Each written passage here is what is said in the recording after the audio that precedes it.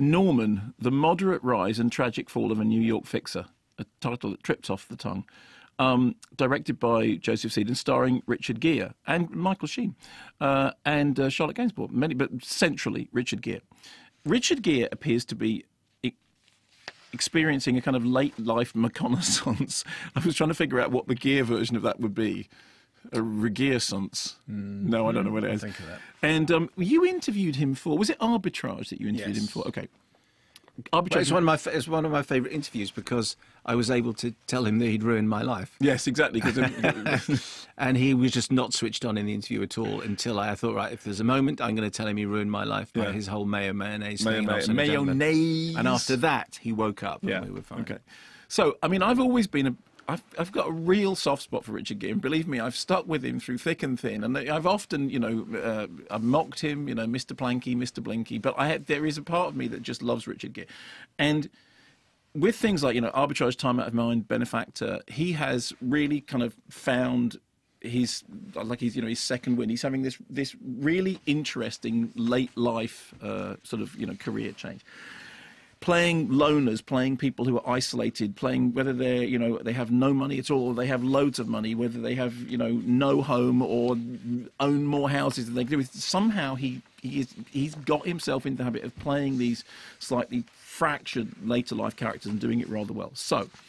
In this, he plays fixer Norman, who is somebody who's always trying to make deals, desperately trying to make deals, to put people together, to be in the middle of a meeting. The fact is, he doesn't really know anybody, and he's not really friends with anybody. Everybody kind of doesn't, doesn't really know him or doesn't really like him, and yet he shambles around from place to place wearing this um, this kind of uh, camel coloured coat, and this uh, his hair is arranged in a way that makes it look like his ears stick out more than he, he he looks like Dustin Hoffman. Weirdly enough, he's like he's physically shrunk to play this uh, th- this character, and he basically goes around meeting, worming his way into meetings, d- d- doorstepping people, and uh, all the time trying to do a deal, trying to set up a deal, despite the fact that people don't want to deal with him, and he will not take no for an answer. Here's a clip. a very high official, I, I can't mention his name right now, maybe an author, to sell his country's tax receivables to a third party. 80 cents on the dollar. Excuse me, I have to leave. This is unacceptable. Please. Bill, Bill, no, I, I, wouldn't be doing this if, it, if I didn't think it was worth Joe's time.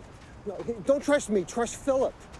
Good things come in surprising ways. You never know, you never know, right? I mean, what, worst comes to worst, he kicks me out the door. No, worst comes to worst, he kicks me out the door. It is my job to keep people like you away. Don't you get that? Yes. So please, respect my position. Stop. Please. I'm sorry, I don't know what else to say.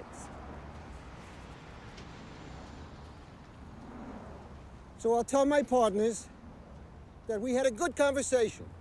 And we'll see what happens, okay? Thank you, Bill. And that tone of voice is basically carries all the way through the film.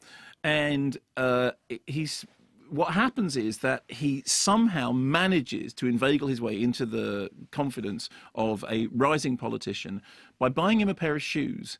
And the next thing he finds himself at the center of uh, you know uh, this this, this un, uh, uh, know, unfolding scandal, and yet he's always been on the outside, and somehow he's he's found his way into the middle of power, and.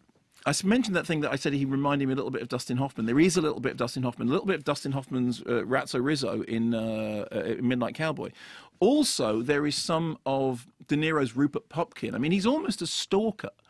He's a kind of figure who has a, a lot of pathos. He, there's a lot about him that is pathetic, but he is, you know, waiting on people, following people. There's lots and lots of shots of him looking, lurking, essentially stalking. And at one point in the narrative, he meets somebody who is sort of like a, a, a young proto version of himself, and he's kind of appalled by it.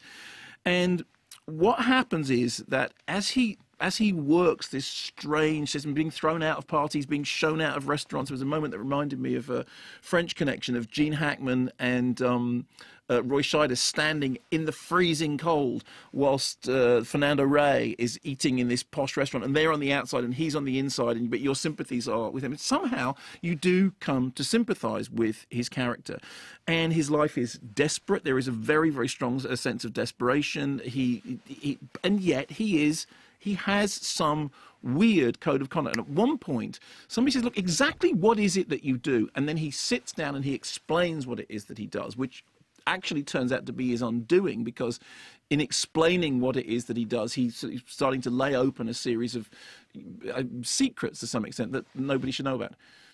It's a really strange film, and I thought Gere was terrific in it. It's certainly something which is going to have, you know, it's it's it's it's as a, it's a niche market film, absolutely. But I thought he was really good in it.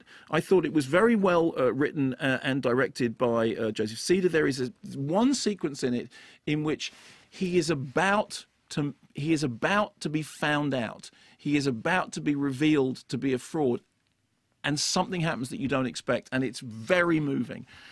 And the whole film really rests on Richard Gere's shoulders. And I thought he did it terrifically well. He, he, you believe in that character. There's a little bit of death of a salesman in there.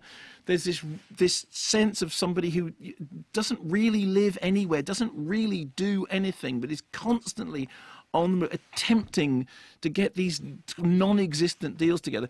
It also it, it is a contemporary story. It's a it's a story which does have you know, kind of strange resonances about the way that business connections may or may not work at the moment. And I'm looking at the television, everything that's going on in the news. It it seemed weirdly contemporary. I don't think it's going to find a big audience, but I thought it was very good, and I thought Gere was terrific in it.